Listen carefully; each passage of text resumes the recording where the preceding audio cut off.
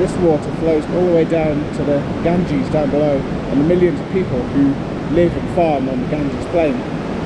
If the summer rains fail, then this water coming down from the melting glaciers might be the only water that goes into these river catchments.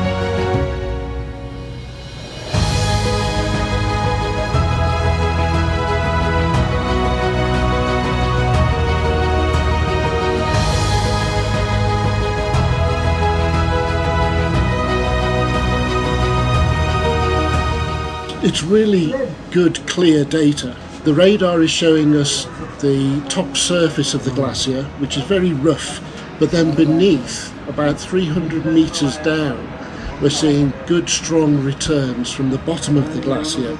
But now we know the thickness, we can actually calculate the total volume of ice in this glacier. We know how much there is that needs to melt before it disappears completely.